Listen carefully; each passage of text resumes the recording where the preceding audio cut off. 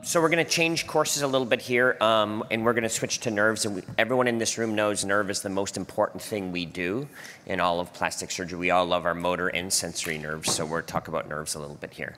Um, so um, I want to get started uh, with Jay actually talking about uh, migraine headaches, optimizing outcome with migraine headache surgery. Jay. Great, great, great. Um, thanks, Paul. Uh, it's really an honor to be a, a, part of this. I never, ever, ever thought I would ever be on a panel with uh, nerve experts. Um, but, but about 10 years ago, I um, spent some time, time with uh, Bahman Guyuron, and um, he turned me on to what's really become my favorite uh, thing to do. Um, I'm not going to talk a lot about technique today. Um, I think one of the things that we as a group have realized is there's a lot of ways to do this surgery, and they all work. Um, but I'd like to hit on a few points that um, may help us optimize our out outcomes and how we can continue to do that in the future. Uh, I'm a founder of a couple of startups. They're all in the aesthetic space, uh, nothing to do with this talk. So this is a common quote, and what, I, what I'm trying to say here is I think it's important to understand where you are in a field, and there's a lot of ways to look at that. What do we know and what do we not know? Um, one way to do that in plastic surgery is just do a PubMed search, and here's two common uh, fields uh, that we're all familiar with, breast reconstruction and fat grafting over a 30-year period. You can look at the number of papers published, and at the end of 30 years, we as a group are publishing about 350, 400 papers a year. Kind of gives you a sense of what our group does. In migraine surgery, there's been less than 70 papers, and most of those have Bahman Guyuron's name on them. So we're really early in the field, and that's important to consider when you're talking about things like this. On the other hand, if you look at what the migraine uh, field in general is doing, it's over a thousand, almost 2,000 papers a year. A third of these patients are refractory to treatment. And so I think it begs the question is it reasonable for us to think about alternatives, even surgery? And of course, this all came out of uh, various observations. Um, critical to all this is uh, Bahman, who um, noted, among others, that um, patients who were getting Botox uh, were reporting that their headaches were getting better. And this important study where he uh, retrospectively looked at his um, brow lift patients and found that a lot of them, after surgery, were reporting that their headaches were getting better um, and started to develop this concept of carpal tunnel syndrome of the head. Now, I'm not a nerve guy, but I, I kind of got this, right? Why would carpal tunnel happen only in the, in the hands and the feet? It should potentially happen anywhere, um, this sort of um, process. And um, Bahman and others, including Dr. Ducic here, I've got some of his illustrations on the top, Dr. Janis and others, did some really elegant anatomic work to help describe these um, triggers that we think um, can be a major cause of headache and migraine and can be released. Some critical uh, papers by Bahman and his group, which many of you are familiar with, um, help to prove uh, out these uh, concepts. And at this point, as I said, there's less than 70 papers, but other groups, including ours, have shown that we can get a greater, greater than 50% improvement in migraine headache index uh, between 60 and 95%. So how can we optimize these outcomes as we go forward? Um, as Bahman has taught us, and, and I think all of us have learned, selection is everything. You know, the dumbest thing you can do is take a, a disabled patient with chronic pain and operate on them and not make them better. This is a disaster. We need to truly study our outcomes as we do in every area of plastic surgery. Um, we think it's important to compare the, the, the, best results with our worst, and um, particularly in a field like this that's very early, uh, it's, it's critical to share ideas. And without um, lots of migraine symposia, and uh, I, I, don't even think there's a textbook on migraine surgery yet, uh, that involves um, getting together and, and talking um, frequently. So the art of selection uh, still is probably the most critical part of optimizing our results. Certainly, uh, we want to make sure we're operating on the right patients, so they have to have been seen by real migraine doctors, neurologists. Um, they have to have had uh, CAT scans, and um, you know you have to be sure of the diagnosis. Um, identification of specific triggers is key. Patients with migraines often have deep undefined pain with an unclear starting point. These are not the patients you're going to want to operate on. The patients that we're talking about that have nerve compression or irritation or nerve involvement, nerve triggers, have specific pain points that start in a specific location. For the frontal trigger sites that involve the, um, the, um, uh, these uh, nerves uh, that you're familiar with, there's a classic story. The pain starts above the eyebrows, it's tender to touch, typically happens late in the afternoon. You can see the brow ptosis and deep uh, grooving lines. They often get ptosis with their symptoms, and pressure and compression often uh, helps with their pain. They'll point to this and other common sites. And one of the things that our group has started doing, this actually was the idea of, uh, of uh, one of my uh, research fellows, is I have every patient before they see me draw their pain. They, they, they mark where it starts and where it goes. And, and I use all of the forms that Jeff and Bahman have developed over the years, and I have patients uh, fill these out. Uh, but, uh, but at this point, uh, the first thing I look at is this drawing. It really helps guide me in the discussion and, and sort these patients out early as to who might be a good patient and who might not for this type of uh, treatment. And uh, there are definitely some uh, more atypical diagrams that lead you to believe maybe something else is going on. The um, temporal trigger site, again, very well described, uh, also has a typical story. Pain starts in the temple. They'll wake up with the pain. They tend to grind their teeth and have a, a long history of orthognathic surgery. And again, pressure and compression tends to help in these patients. And they will point right to that notch where we all know that nerve is most commonly found. And the pictures, as you expect, are pretty specific. We do see some more abnormal or atypical pictures, and this may indicate that these patients are not great candidates. The um, occipital trigger sites, um, again, the anatomy very well described, also has a typical story. Pain starts right where that nerve uh, comes out and meets the fascia. Um, can happen any time of day. These patients often have a history of trauma. I was just talking to Dr. Ducic, who says a, a tremendous uh, uh, part of his practice is post-traumatic um, injuries, and uh, I think we're seeing that as well. And these patients will tell you that they avoid the gym. They know if they go lift something heavy, they're going to have a problem. And they'll point to a couple of spots that correspond to uh, well-known compression sites in the back of their head. Their drawings are usually very indicative of what's going on. This I would consider pathognomonic of occipital uh, neuralgia. You see that drawing and you're almost certain you're going to operate on that patient if you get the chance. Some abnormal uh, pictures.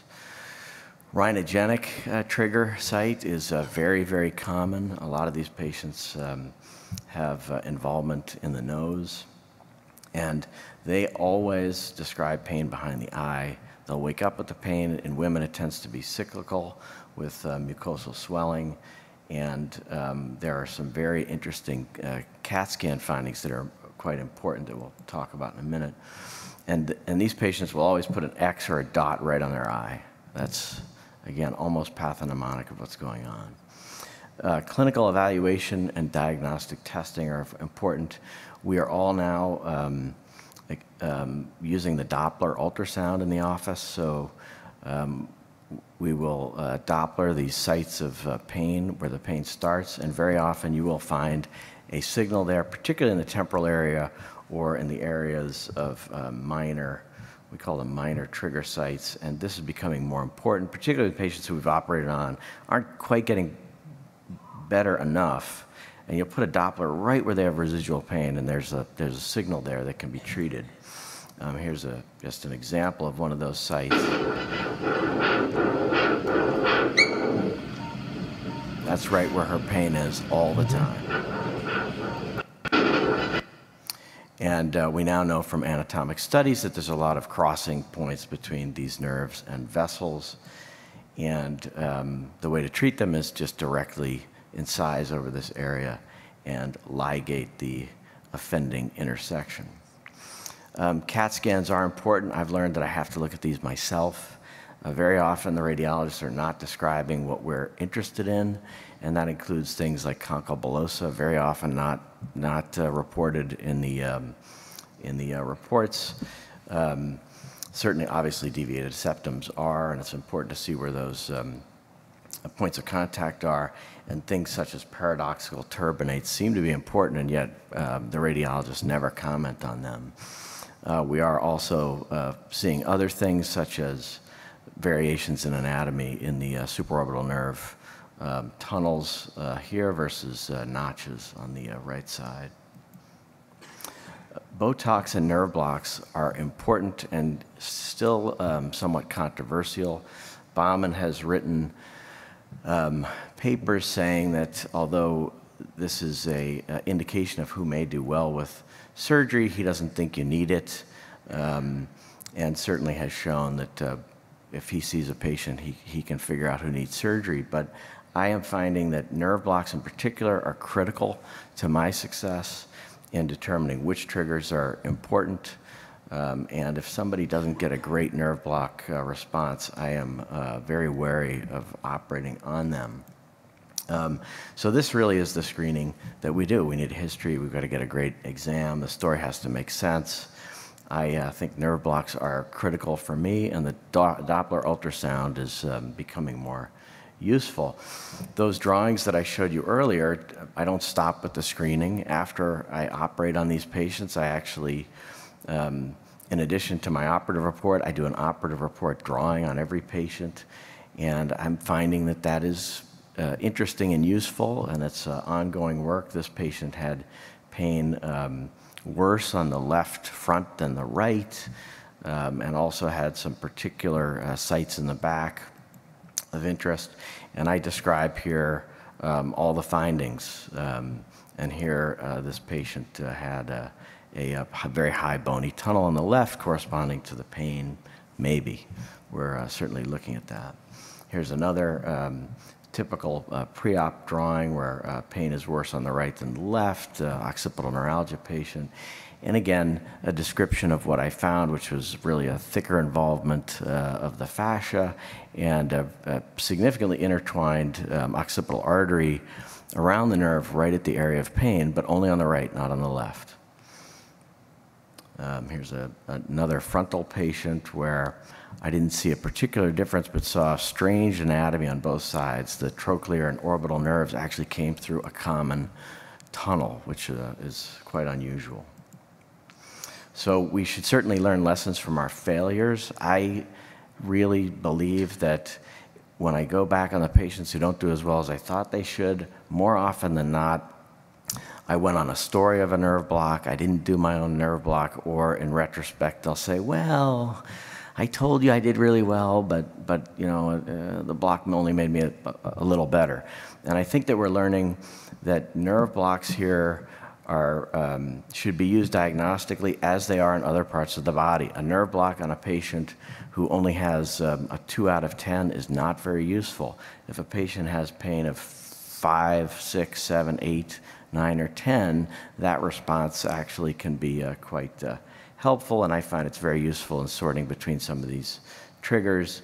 With the Doppler, you got to cut right where the Doppler is. Early on, I would just go after the root of the temporal vessels, and those patients never got better. The lesser occipital, I think anatomically, is more uh, variable than I thought, and I'm seeing patients from my own practice and from others who should have gotten better with a lesser occipital nerve decompression and didn't. They still respond to nerve blocks, and when I operate on them again, I'm finding a deeper branch where I didn't think it would be. Um, patients who have systemic nerve damage, a brachial plexus injury, um, lower extremity injury from an old trauma with um, uh, chronic pain, those patients tend to not get better. And it's, I, I, don't understand exactly why that is. Perhaps these guys do. Um, and so that's a, a, bit of the art. Uh, certainly, there's a lot of room for more science. And so we are uh, certainly looking at our prospective outcomes, and we're using not just the traditional um, tools for migraine, but also um, combining that with some that are well described in chronic pain patients. These, these are disabled patients that we are taking care of. And uh, traditionally, the migraine uh, headache index is the gold standard for this, and we consider patients who do um, better than 50% improved versus less than 50% failures. And just looking at our recent prospective outcomes, we are getting a 71% total decrease in the migraine headache index, and over 80% of the patients are considered a success by that traditional measure. But if you really look at it, what we found, and um, one of my fellows will present later this week, is that it's actually fairly binary in our hands. If you look at patients who get better than 80% better versus less than 15% better, that makes up most of the patients. It's about 86% of the cases. So they really either get better or they don't. And if you then go back and compare these best and worst patients, you see some interesting things. And we don't really know what this means yet, but this, the, these kind of studies we think could help us um, improve our outcomes uh, and selection going forward. Patients who tend to have a longer duration of pain preoperatively, so if they get a migraine and it lasts a couple days, they're less likely to do well. Um, patients who, for some reason, have nausea or lightheadedness with their symptoms tend to do better. Um, patients that um, their migraines are brought on by fatigue, noise, or smell also do a lot better versus those that don't don't get better. Interesting, and uh, perhaps will help us understand the mechanism of this in the future. We've been looking at pain self-efficacy. This is something that has been used commonly with um, other uh, pain syndromes, and what this is is patients' ability um, to cope and do things, uh, everyday activities of everyday living. And if somebody has a low score, they have very, very poor um, pain self-efficacy, and they tend to have poor outcomes in other areas. And so we looked at this, and interestingly, our pain self-efficacy scores on the patients we're operating on are the lowest we can find in the literature. This is an extraordinarily low score. These patients are very, very disabled compared to chronic back pain or carpal tunnel or other hand injuries. And when you operate on these other patients, they get better. They get better. 13% for, for back pain, 8% uh, carpal tunnel. Our migraine patients got 122% better which is uh, really sort of intriguing and helps us place these patients in the context of, dis of disability. And um, certainly, I, I, think will help us in explaining this to um, neurologists, uh, insurance companies, and, uh, and each other. Um, we're certainly uh, saving tissue. I'm hoping some smarter scientists than me, Paul, can tell us what to do with this, um, this tissue, because I think it's um, it's, uh, it'll be quite interesting to see the differences between uh, some of the tissues from areas where patients don't have pain versus where they do, patients who get better versus those who don't. Um, we do have a migraine surgery council. This was very much uh, promoted and pushed by Jeff Janis. And it's really been uh, very, very helpful. Um, this group is, is, of the founders, and we're growing, and we talk once a month. We're talking about billing, coding, problems, um, uh, you know, what works, what doesn't. And I think this is the kind of thing that really helps move these early um, areas along and forward. And one of the really uh, great things that's come out of this is we now have a multi-center uh, study, which we uh, hope to uh, um, share with everybody in the near uh, future. So thank you very much for having me.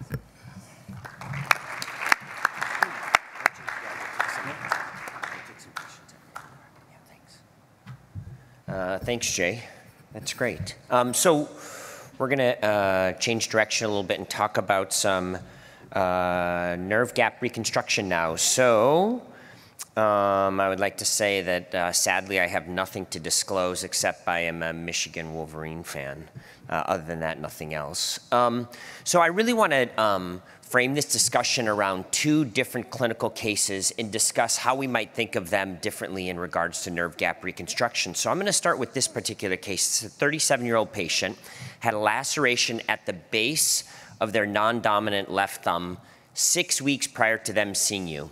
They have pain, like a painful neuroma there, absent temperature and pain sensation, and two point discrimination is absent on the ulnar digital nerve. They have no other injuries. So in the operating room, we see this, and we see a neuroma with a two centimeter nerve gap, ulnar digital side of thumb. So when we think of reconstructing this, I think there are a lot of different things we have to think about. We have to think of acute, subacute, chronic, um, and where it's falling into that situation, the size of the gap, and whether this nerve is a critical or a non-critical nerve, like the ulnar digital nerve of the thumb, radial digital nerve of the index finger, or ulnar digital side of the small finger. So how would you reconstruct it? So just by a show of hands in the room, how many people would use a collagen nerve guide to reconstruct this two centimeter gap? Okay, no one. How many people would use a acellular nerve allograft? Okay, and then what about an autograft? Yeah, a lot more. Yep, okay. Well, let's talk about this a little bit. Um, so how efficient is the process of end organ reinnervation after nerve injury and repair? So if we go to the rat model and we look at a rat sciatic nerve, we cut that nerve and immediately repair it. Or we cut that nerve and we repair it with a small number of axons proximally, sort of like a traumatic nerve injury. If we look at this, we can see that the force generated in a normal muscle is about 4,000 millinewtons. In a cut and repair muscle, it's basically the same. And then when we reduce the number of axons, it's down as expected. If we then look at motor units, single motor units going to that muscle to understand how those motor units remodel in response to that nerve injury, we can actually see that our motor units decline as we have fewer axons. So even when you immediately cut and repair a nerve, you have a decline from about 44 motor units in that muscle down to about 30. But keep in mind there's no force deficit. So what actually happens? What happens is those motor units compensate for the reduced number by increasing their innervation ratio. So each motor cell body innervates more muscle fibers and prevents you from losing that force. So we do know that the body can compensate some, but as we reduce the number of axons, they don't compensate enough and it goes down.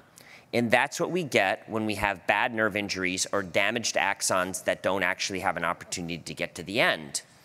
So what if we're asking nerves to regenerate outside of endoneurial sheaths? So we're not just cutting and repairing, but we're actually asking them to reinnervate a muscle like through an empty conduit. So if we just use a muscle neurotization model, and here we just cut the sciatic nerve here, and we just implant the nerve into the muscle. What needs to happen? Well, it needs synaptogenesis. So those axons need to find their way back to muscle fibers. And when they do, then they have to create new neuromuscular junctions and reinnervate that muscle. And we do that, we know that we have about a 50% uh, force deficit. So those muscles just don't recover as well. So we know when nerves regenerate outside of endoneurial conduits, they don't regenerate as well. It's just not as efficient. And so when we're asking nerves to reinnervate muscles, if we're asking them to do it in an empty conduit, we're asking them to accomplish something that's very difficult for them, even under the optimal of circumstances. So let's look at nerve gap reconstruction with different approaches. So if we go back to our same rat model, we do a sham group, a cut and repair group, and nerve gap reconstruction. If we look, here's our sham group, 4,000 millinewtons, our cut repair group, 3,700, and even with a two centimeter autograft, we actually have a pretty substantial um, force deficit. So what does that tell us? That tells us that even the best approach that we have, we still have substantial force deficits. And then if we increase the size of that gap, and we compare it with acellular grafts, we would have a two centimeter autograft, four centimeter autograft, acellular grafts that are two centimeters and four centimeters long. We actually see our two and four centimeter autografts perform about the same, but our acellular graft has a decline in force, and our four centimeter um, acell, that's um, labeled incorrectly, our four centimeter has an even greater reduction in force generating capability. So what does that tell us? That tells us the longer the gap, the more difficult the regeneration. The longer the gap, the more likely you are to require some biologic support of some variety. So we know axons regenerate better within an endoneurial environment. We know synaptogenesis is way more efficient if axons are guided there through endoneurial conduits. And we know primary repair is better than nerve graft repair. And nerve graft repair with autograft, with biologic support, outperforms any of the acellular approaches as gaps get larger.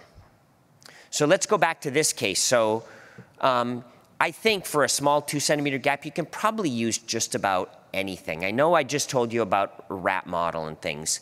I think you could use a conduit, a biologic or synthetic conduit. You can use an allograft. You can use an autograft.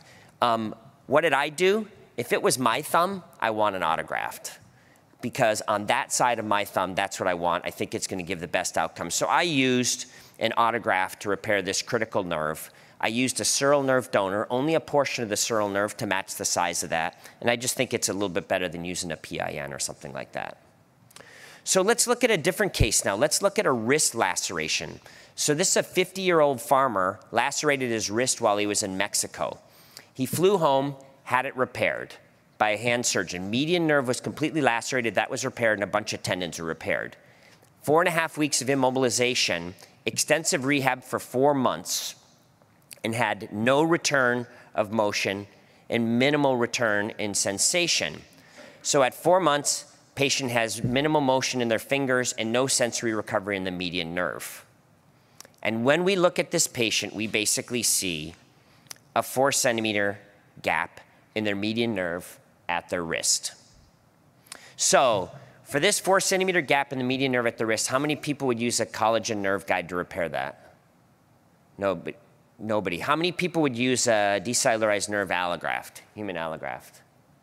Nobody. So everyone in the room is going to use an autograft then, I guess. So this is, this is different in this case. This is a totally different situation because here it's a four centimeter gap versus a two centimeter gap, so that's much harder. It's a mixed nerve. It's a mixed motor and sensory nerve, which makes it far more complicated than pure sensory nerves. It's a big diameter nerve with a lot of fascicles as compared to a small digital nerve, which makes it harder. And it's a four month delay. So let's talk about each of these things, okay? So let's talk about four centimeter versus two centimeter. We talked about that before, but there is a perceived ability of the various constructs that are out there to effectively reconstruct gaps that are of four centimeter, even six centimeter lengths. But I think the thing that's important is you really have to look at the experimental model that's used to evaluate it and what outcomes are measured.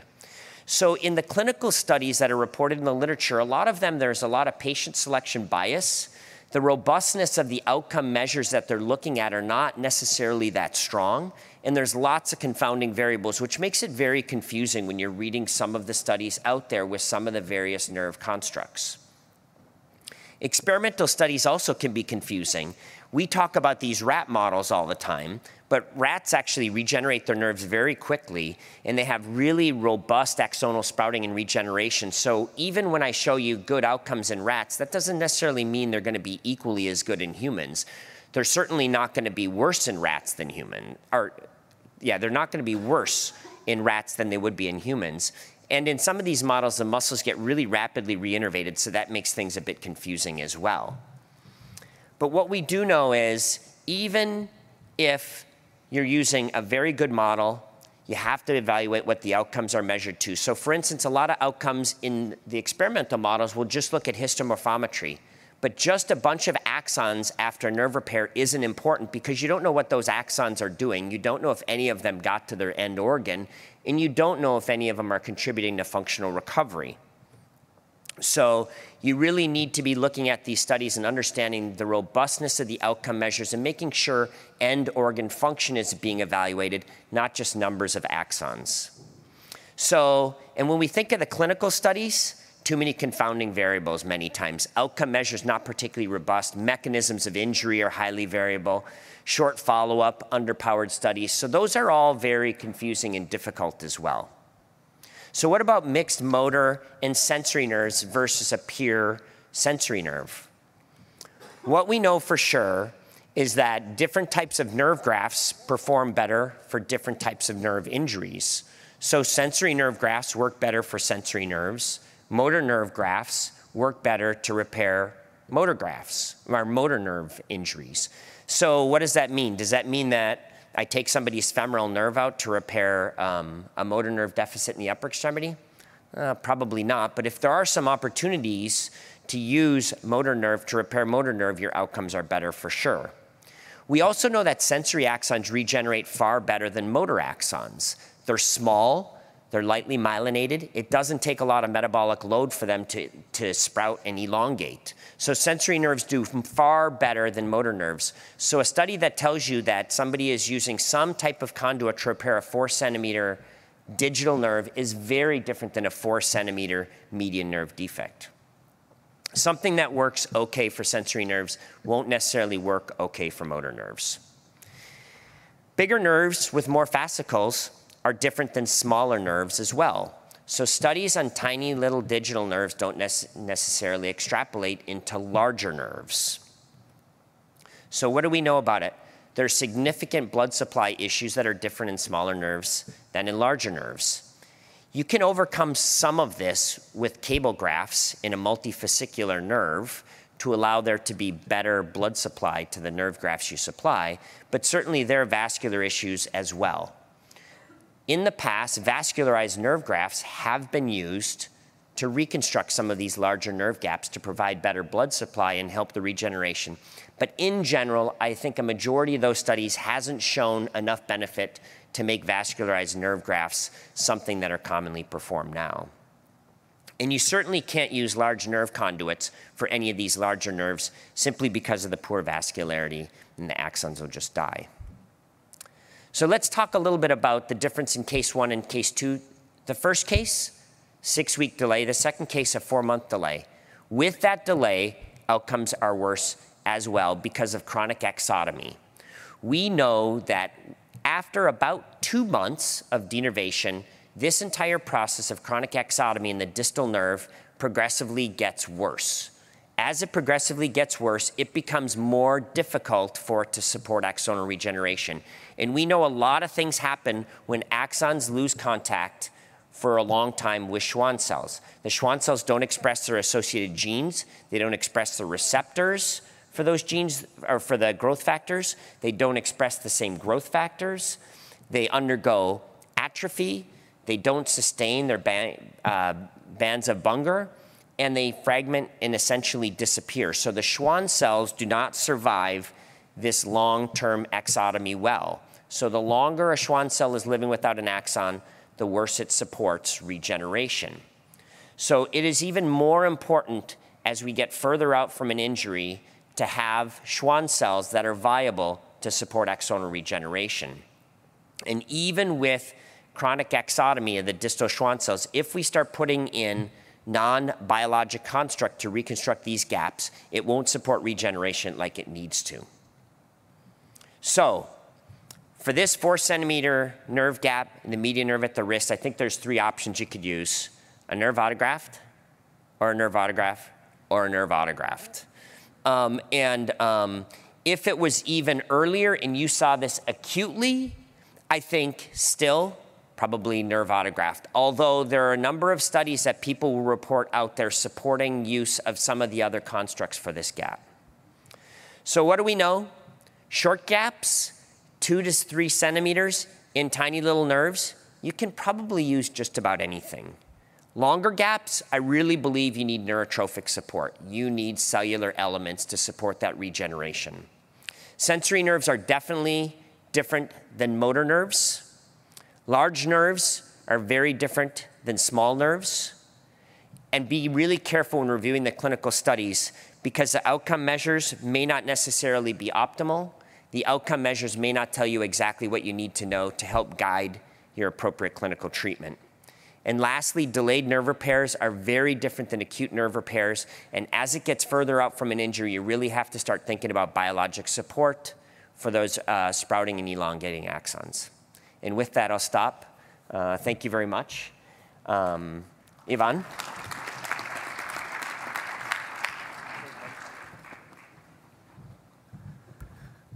Hello, everybody.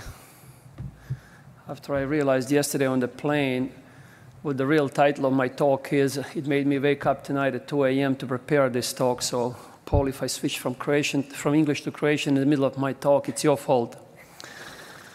So, nerve surgery for pain. How much pain does it give the surgeon? So let's review that a little bit.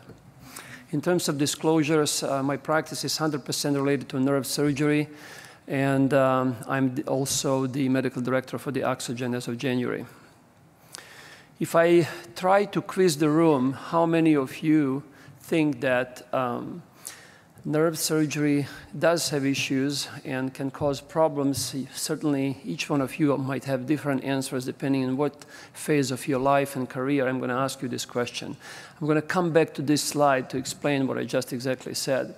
But let's review a couple of the facts out there that I learned in the past 15 years of my practice. And it's kind of inconvenient truth. Chronic pain syndrome can follow any surgery, can happen in any patient, regardless of age or sex, and can develop obviously following the surgery for, nerve, for the pain as well. Nerve reconstruction outcome can go from no recovery to full recovery in both motor and sensory, regardless what best or gold standard technique you are utilizing.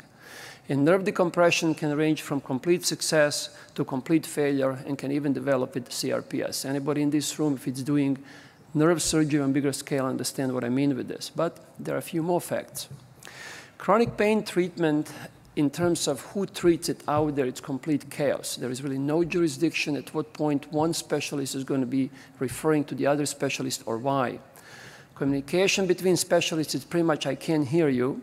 And interdisciplinary care and referrals is suffering significantly from understanding proper timing and also consequences of late referrals for the certain, certain procedure.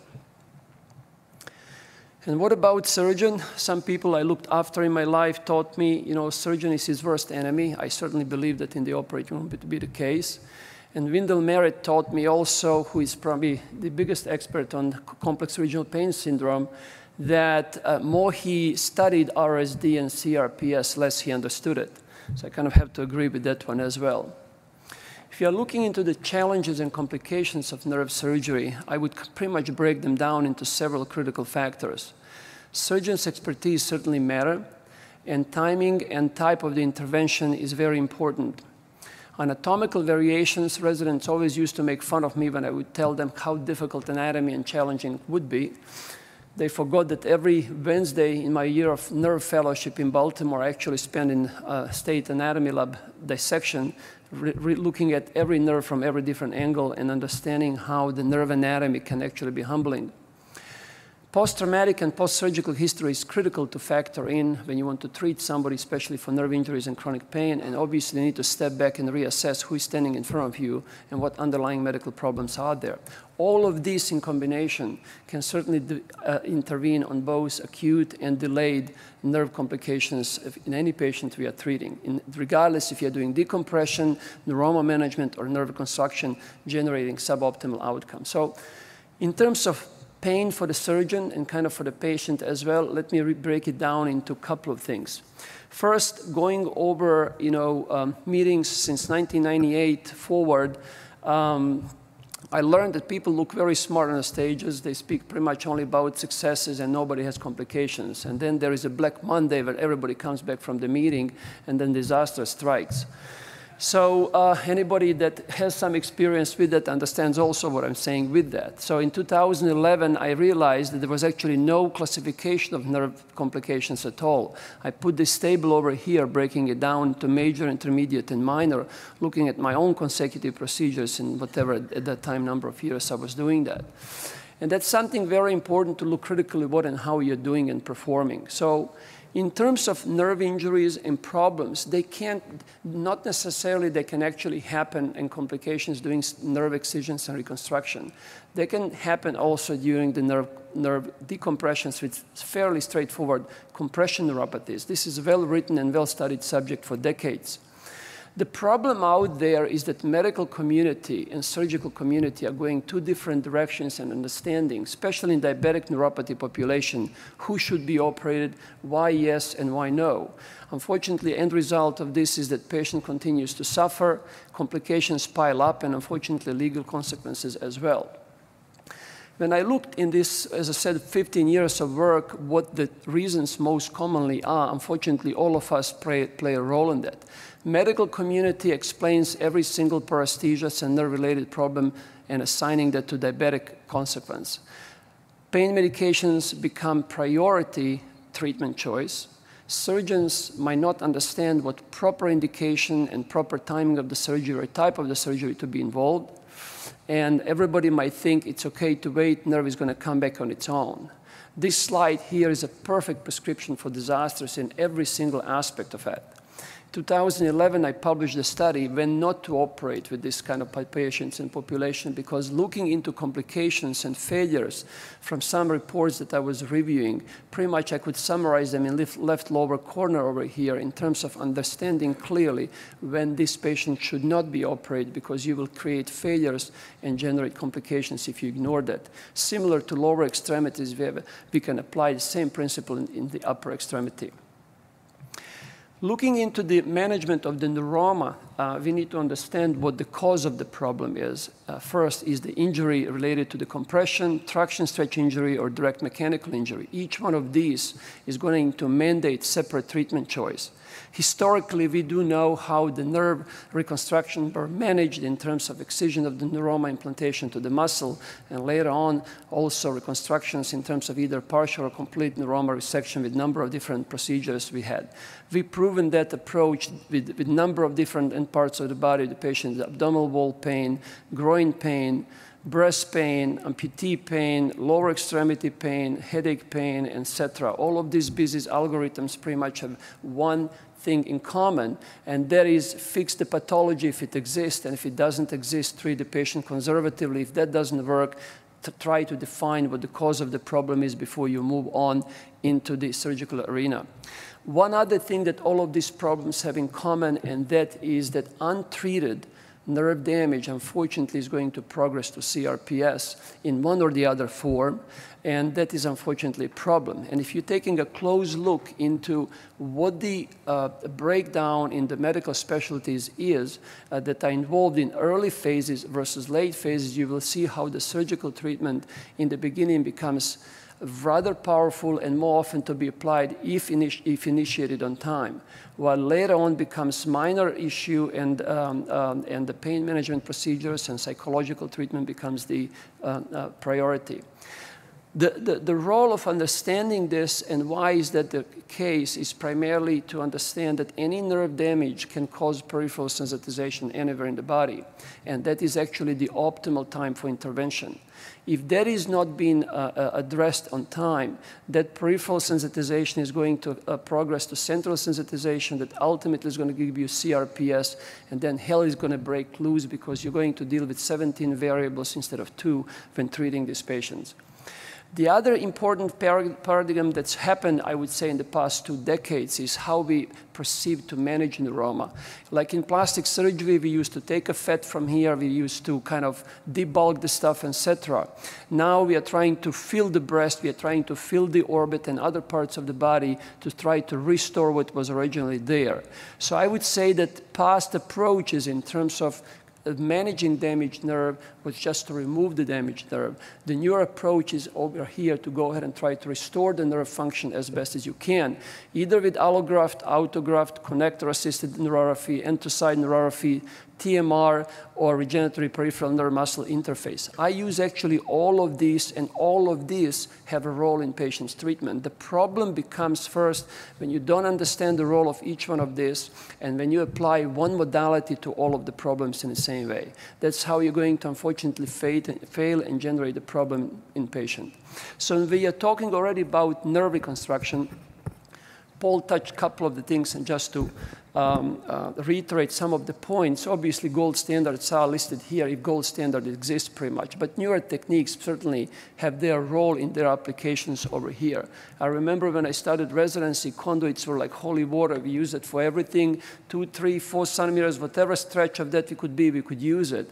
Obviously, evidence-based data later on, on this easy-to-read slide over here, taught us that, uh, unfortunately, only short gaps are really effectively treated with this. And the problem starts about larger gaps, that uh, the effect of the conduits becomes really mediocre. I personally published a study with two and a half centimeter spinal accessory nerve treated with the uh, with, the, with the conduit. I wouldn't do it today for a million dollar, you know, award for that.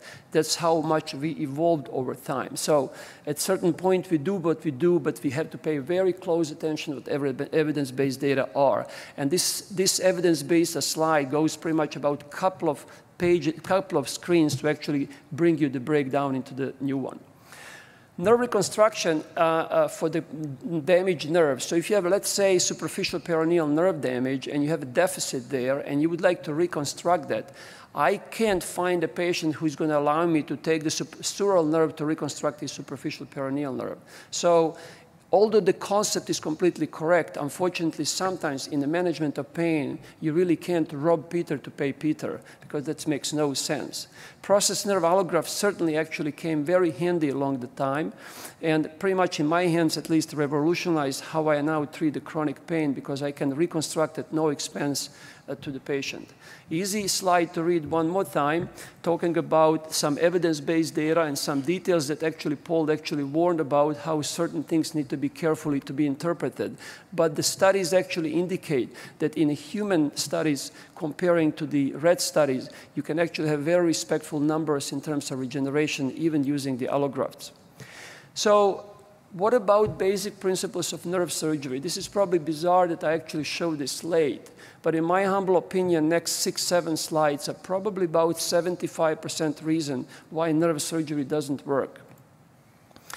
First, timing and severity of the injury from the injury to the time when the intervention is going to be taken care of are reversely proportional to that. There is a plethora of the evidence-based data that nobody can ignore in this day and age. So delayed nerve repair is bad. Paul talked about acute recovery and late recovery. All of us know it's very different to reconstruct the nerve uh, that is uh, two weeks old versus four months old, or to decompress the nerve where compression is present for seven weeks versus seven months. Outcomes in anybody's hands have to be different. In terms of neuroma excision, this is very bizarre phenomena, I would call it, within plastic surgeons. We are brainwashed that we need to go ahead and debride the tissues, all of us. There is no, that's pretty much debridement is the key of any reconstruction. Yet when we come to the nerve, there is a hesitation to do that because you know that with every slice, you're going to be enlarging the gap and you're going to be limiting choices how you can reconstruct it by every millimeter you do that. But unfortunately, if you're going to be reconstructing the nerve with the about uh, 60, 70% of the scar in there, better don't do that reconstruction. You can put a gold in between of that gap, it is not going to grow. So message here, together with evidence-based data, the inadequate resection of nerve damage is unfortunately perfect prescription for the failure there. Misalignment is the other problem. Uh, we all thought how nerve looks very nice and round and we can do it in a very good way. But unfortunately, if we haven't done proper job in terms of rearranging that nerve uh, in terms of proper alignment, we're going to generate actually neuroma in continuity and that subsequently is going to cause problems and failure to restore all of the three functions. Anybody who is trying to repair two or three or plus millimeter nerve with three or four flimsy fascicles with some of them even half a millimeter thick, uh, you will understand that even bringing 9 or 10 on, trying to oppose it perfectly, you will see how handicapped surgeons actually you can appear to be connectors, in that case, at least revolutionize the way how I do it because they are transparent, and I with them minimize, eliminate uh, misalignment completely, leaving a very small crevice in between. So misalignment is bad for you, and in the interest of time, I'll just go fairly quickly to say that the tension is very bad for you. Anybody in this day and age who's going to cut the two centimeter nerve at elbow or anywhere, flex the extremity, and through serial expansions with the splinting is going to try to expand that nerve, pretty much is significant deviations from the standard of care. So please don't do that because you have about abundance of data in terms of showing how the entire Ilizarov, Ilizarov actually um, literature speaks as well that neuropraxia with the tension-induced uh, ischemia is the key uh, problem uh, over there. Ultimately, we have a number of different choices in this day and age we can utilize uh, for the nerve reconstruction, and we should be um, individually tailoring for the patient's uh, needs. Two last concluding slides. I would say that nerve surgery needs to be highly individualized on every patient. There is no gold standard for everybody. Expertise matter, and it does not equal entitlement, regardless whose feelings might be hurt with this. Communications between providers is important, should be better.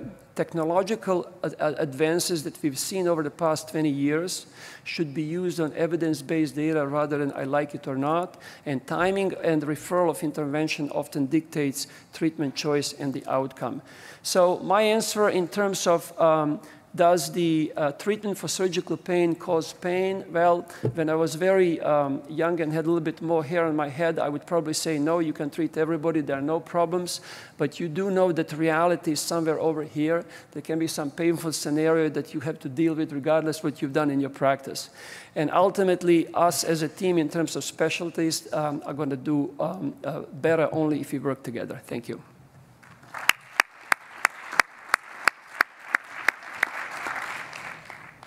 Thanks for that talk. Um, uh, I will open this up uh, to any questions that people have. We are running a little bit late, so we'll take a couple of questions.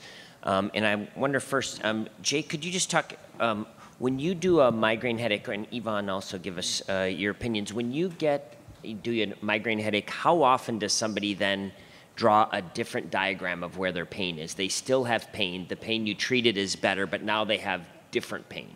Yeah, it's a, it's a, a great question and an interesting phenomenon I think we've all seen is that if you take your um, excellent responders, so patients who do well, up to about 20% of them at some point will come back with a different pain diagram. Now, it could be, gee, you know, I'm 80, 90% better. You treated my occipital neuralgia, which I now understand that's, that's what it was, but now I'm getting pain in the front all the time. And, um, and, and often those patients can be helped. You go through the same process of, um, of diagnosis and exam. But Ivan?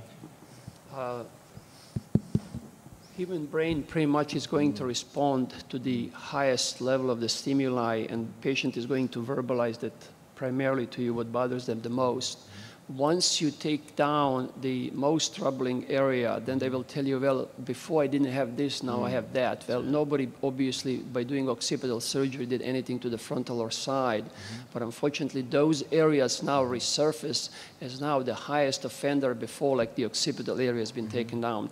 You routinely didn't see this in the practice, and certainly patients need to be counseled about that so that they wouldn't be like you're chasing your own tail by doing something about it. Yeah, it's, it's, it's uh, been fascinating to me too because what I didn't understand when I got into this, which I do now, is that, you know, we're so obsessed with making patients better, right? But if you have this kind of pain, any pain sucks. And so it's not uncommon that a, a real success will come back and my staff will come out, you know, they brought the patient in and say, oh, it's terrible, you know, she's, she's not doing well. And you'll go in, and the patient's one of your happiest patients. And she'll say, Well, you know, I'm, I can now go to work, I can do this, I can do that. I still have pain, but it's, but it's far less. And they and we really would, I mean, we want to eliminate all pain. Yes, please. Hi, Guy Stofman, University of Pittsburgh. Uh, Paul, great panel. Uh, one comment, two questions. Uh, your observation of vascular compression and nerve pain is somewhat fascinating. And 40 years ago, Peter Jannetta who was a neurosurgeon at Pittsburgh, came up with a, an observation that the posterior cerebellar artery was compressing the trigeminal nerve. And then watching him do this operation that we were able to do, he would simply just put a sponge between that and the trigeminal nerve, and people that were suicidal were cured. Mm. Uh, then we go back and we look at the carpal tunnel analogy, and again, it makes all the sense. So you talk about Bahman, who tells you the story 10 years ago when he tried to present his data to the American Society of Neurology and they were going to kill him because essentially he was going to put neurologists out of work. And so, William, my question to you is number one, how do you establish your relationship with your neurologists that they'll believe in you? Because essentially you're going to be taking patients away from them forever, number one. And then number two, you mentioned in your CAT scans that uh, when I was an otolaryngology resident a number of years ago, there was an entity of Sluder's neuralgia, which seemed to be a compression, uh, septoplasty, or the septum compressing the Vidian nerves that came out of the pterygopalatine ganglia. And then we would do septoplasties and their frontal headaches would go away. So do you ever test that in your clinics? In other words, cocainizing the nose and seeing, number one, if that works. And then to my peripheral nerve surgeons, should I be wrapping every primary repair, every autograft I do, if I'm trying to direct axonal proliferation, should I be wrapping my repairs with conduits? Oh, Jane, yeah. go ahead. Well, great, uh, great questions, things that we think about every day. I think that the um, relationship between us and the neurologists is uh, complicated. Um, the, the easy thing to say is we're taking away their, their patients. I think that's absolutely not true. Um, in fact, very few of the patients that I see have a neurologist anymore. The neurologists have fired them. I mean, I, I can do nothing more for you, or vice versa. I think it's more an issue of us saying, hey, what you've been taught in your training, what you really believe, um, you know, we think you're wrong. And that's what's really um, uh, so upsetting to them. I, I do think that we are um, uh, constantly uh, trying to interact with them, and it's, it's getting better. You know, in Boston, some of the most outspoken neurologists um, are there and have uh, the ones who've uh, argued with Bahman uh, in the journals are actually um, just across town from us. And I can just tell you from my experience, I've been on the phone with them many times. I've had them in my operating room, and they are now sending me some of their worst patients and slowly coming around. And, and what we've done is we've started to agree to, to disagree or agree to agree. It's a matter of semantics. You know, I think you know, Bahman makes this point all the time, and we try to make the point all the time, is that we're not curing migraines. Migraine is a problem of the brain, that's fine. You guys are the brain doctors. What we're doing is we're deactivating triggers, which we think um, are, are leading to uh, migraines in those patients. And I think the neurologists are now coming around to that idea, saying, oh, okay, you're not, you're not curing migraines, you're, you're, you're treating these, you know, compression type problems. And so I, it's getting better. Um, as far as this, the nose and the septum go, that's fascinating. You know, that's been known, uh, it's been known to be related to headaches and migraines for 60 plus years. I still think we don't understand what's going on, frankly. Um, you know, I see lots of patients who come in my office who clearly have rhinogenic headaches and they've already had their septum worked on. And um, I think that some of them have actually had either um, in, inadequate, it's, it's not the septum that was the problem, it's that nasopalatine nerve. And as the, as the septum goes over that vomerine groove, it's crushing that nerve, maybe irreparably. Maybe it's a problem that you can't be fixed at that point because it's gone on so long. But I think it's far more complicated than we yet know. Uh, I certainly have tried to treat patients with, uh, you know, Afrin or lidocaine in the office, and uh, it, sometimes it helps, sometimes it doesn't. Thank you. All right. Um, So I think we're uh, far enough behind that we'll stop the discussion here. Um, And I'd like to invite uh, Dr. Gordillo and uh, Dennis Orgill and Nick Vedder to come on up. Thanks, everyone.